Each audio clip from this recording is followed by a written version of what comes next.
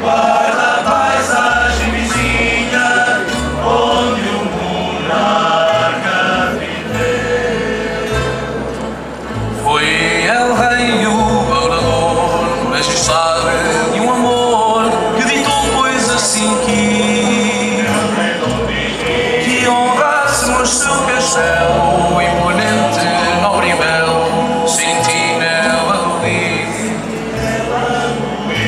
assim tenha acontecido, pois todos temos sabido honrar.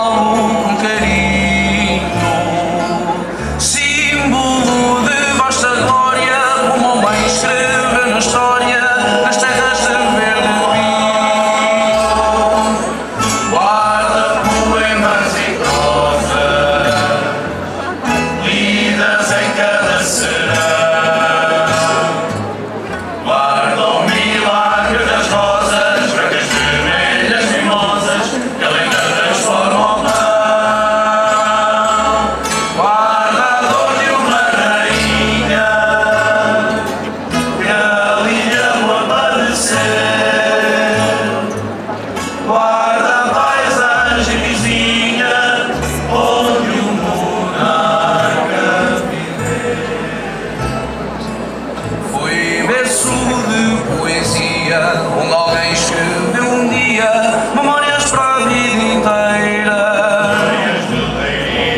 Poetas do nosso povo, como foi Rodrigues Lobo e Afonso Lopes Vieira.